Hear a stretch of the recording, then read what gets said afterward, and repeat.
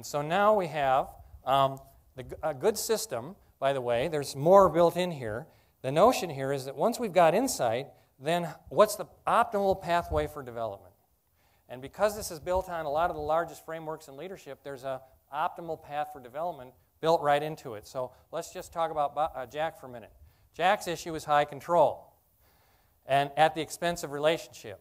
So mostly we, we, what we would prescribe would be let's take Jack and send him to charm school, right? Turn him into a touchy-feely type. This is the path of most resistance for Jack. It's like nails on a chalkboard. Him, he can't stand that stuff. He's wired for results. So let's have a results conversation with Jack. Let's take his core gift, which is the drive for results, and move it from reactive to creative. Move it from reduce his controlling and turn it into more high achieving.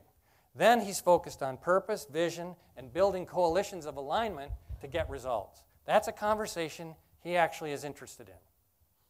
And it turns out that if we can do that, his profile fills in really nicely.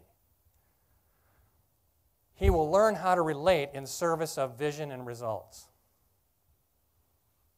The same is true with Bob. Bob's issue is he gives away too much power. He's a people person, he cares about people, but he gives away too much power. So if we can bring power into his relationships, take his core gift and empower it, then he becomes much better at his relationships. And it turns out if he does that, he, he advocates for the stuff that he really cares about, and he's getting results.